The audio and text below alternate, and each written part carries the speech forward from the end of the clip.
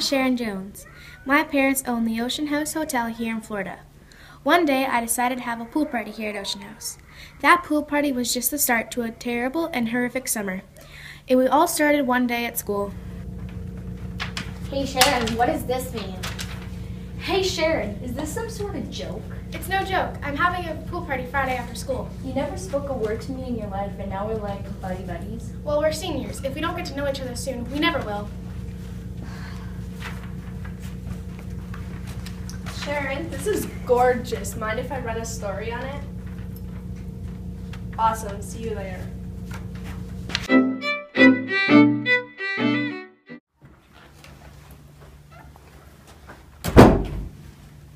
Where's Phil?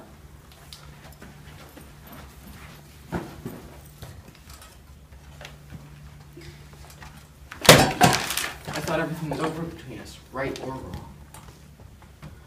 Did you just send me those invites so you can tell me I wasn't invited after all? And was it just a big mistake? Look, Dan, some jerk sent the invites. I would never have enough money to print them anyway. Do you want me to come? I see. Wait, Dan, you should come. I need someone there who knows what's really going on. You mean you're not gonna bring Loverboy Phil? I'll be there. Any luck inviting this to your party? You tell me. You're the one sending out these fancy invites. Whoa, you know I don't have the money for this. Are you sure your mom didn't send them? My mom doesn't have the money. Maybe it's not that bad. It makes you look real good. Send all these fancy things out. I just don't want to look like a snob. Whatever it takes, babe. You will finally get as popular as you deserve. You slime on you. You're sure spending a lot of money on these. They're amazing. We'll be there for sure. See, by the end of the year, you will be prom queen.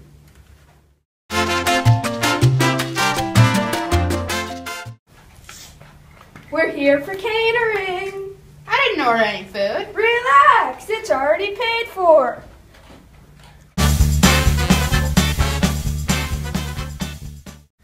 I got it at Dave's Treasure Trove. I was just there. Same.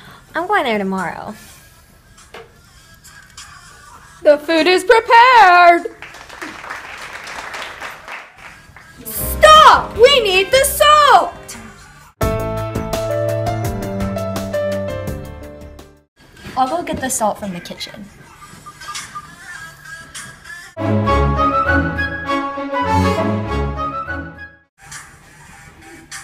I'll go see what's taking him.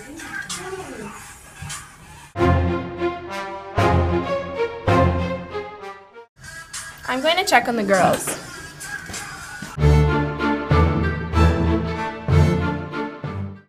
I'm gonna go get it myself. No. Thought you wouldn't care. Found it, but I didn't see the girls anywhere. Sorry, Sharon. I called the police. After all these strange events occurred, Sue, Angel, Vicky, and myself decided to form a pact. We promised each other that we would report everything and anything honestly, and we also decided to meet regularly at lunch. Sharon, this is Irene Craigmore. Her parents own the Ocean House franchise. Hi, Sharon. Hi. How about we go hang out in my room? Sure.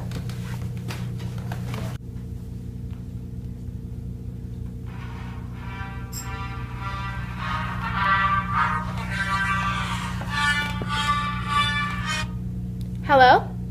You know where Donna, Elaine, and Marge went. You put them there. Who is this? Someone who sees everything you do. Leave me alone! Look under your bed first.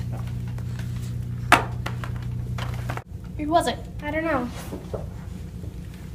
Ah! The next thing I knew, the lobby was filled with police. Everyone was there, and they all thought I murdered the girls. That was until the police came to the conclusion that the murderer was.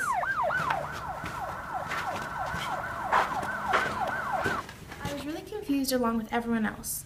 That night, I found a note in my pocket. I guess Dan slipped it in my pocket at the lobby.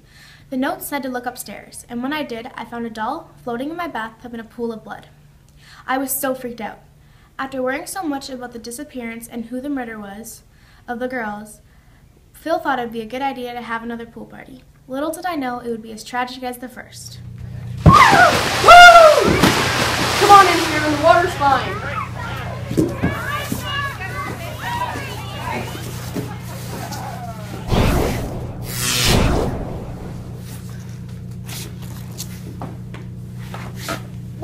Where's Ruth? Freeze!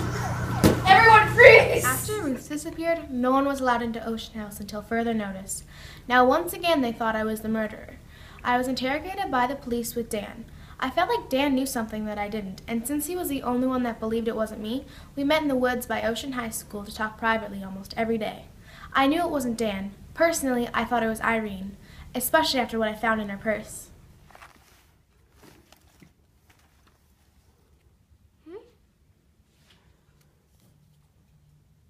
Not only that, but I also caught her throwing a knife in the pool with the initial CW. I needed to figure out what was going on, so I decided to confront her. I'm sick to death of your dirty tricks, Cragmore. You're just a rich snob playing with us peasants. I saw you throw the knife in the pool.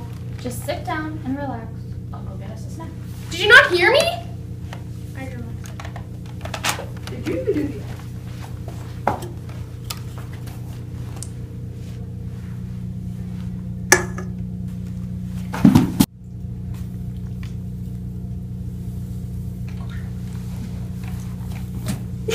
You got to stop him, Jerry. Don't let him get away with murder. Why are you doing this, Irene? Stop it!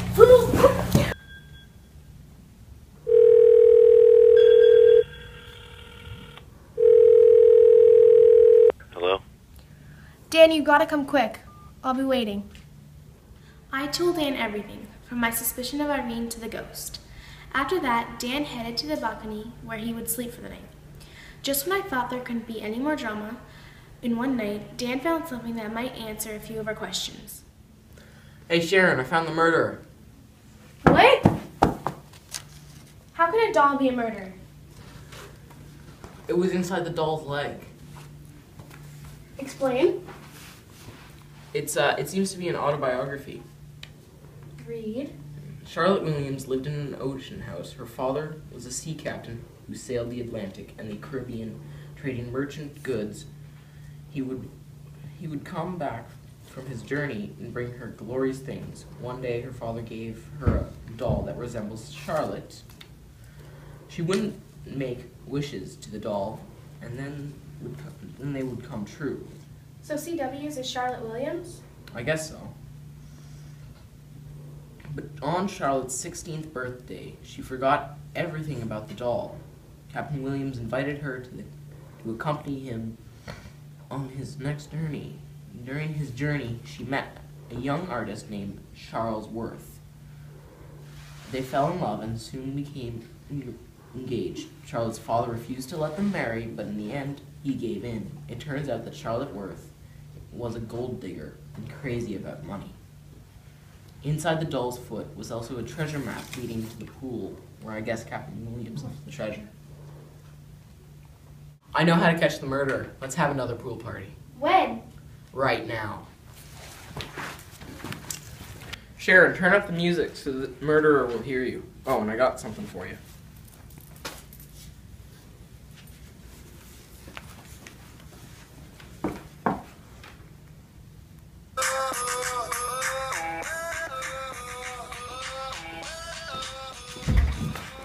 What's going on in here? You fell for my little pool party trick. Now, didn't you, Phil? You hurried over here because you heard the music. In fact, I wouldn't be surprised if you cruised up and down the streets every night. You're crazy, man. You tried so hard to scare everybody away, so you could look for the gold in peace and quiet. But you know, buddy, even though you could close the place down to nothing but the mice, you still never found the treasure.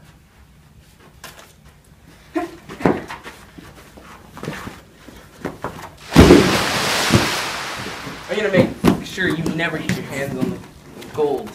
The gold's in the pool, you idiot. With me.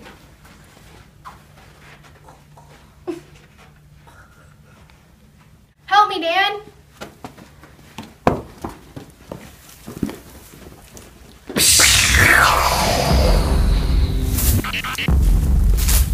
I told my friend Tony to tail me when I did my rounds tonight. I thought that creep Dan might be up to something. He knows what to do. How do you know your buddy just didn't keep on running? Because we had a doomsday plan. He knows to spread the word. We'll be out on a boat to the coast of Florida on a deserted, uh, to a deserted island. We? You're my ticket to freedom. You couldn't kill me, could you? Better believe it, baby. You killed the other four girls? They got in our way. How? They were expensive stuff, so when we finally got the gold, it wouldn't be worth as much because of the stuff that they were wearing. Was that the only reason? No, we needed the jewelry to put under your mattress so the police would suspect you. Did Irene, Sue, Angel, and Vicky help you? Not in your life, especially that Irene. She asked too many questions. She was almost as bad as Dan. So you were the one who dressed as the, that girl and made that phone call? Yeah, you'd never see anything straight after you dr- we I drugged you and Tony does the great impressions. Get out of the car.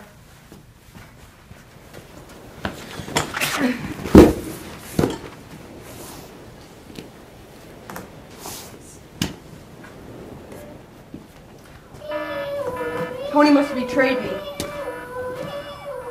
If he can't pay for this, you will. So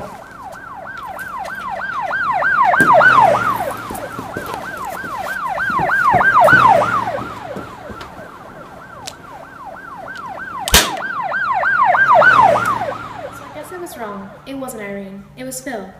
He was a gold digger just like Charles. As for Irene, it turns out she's an undercover cop from Virginia. Ocean House is up and running again, and we're already booked for next summer. All the gold that was found is now at a museum. Dan and I decided to try dating again. So in conclusion, Phil is behind bars where he deserves to be. I just wish to get him there he didn't have to murder four girls. The end.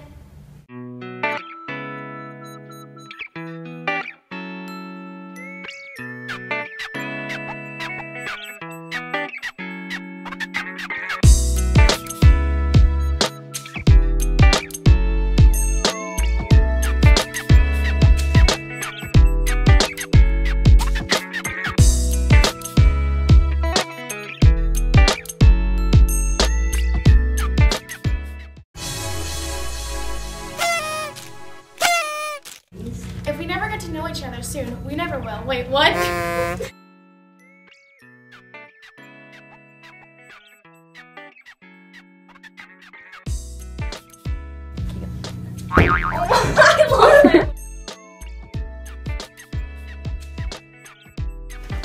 You sly one,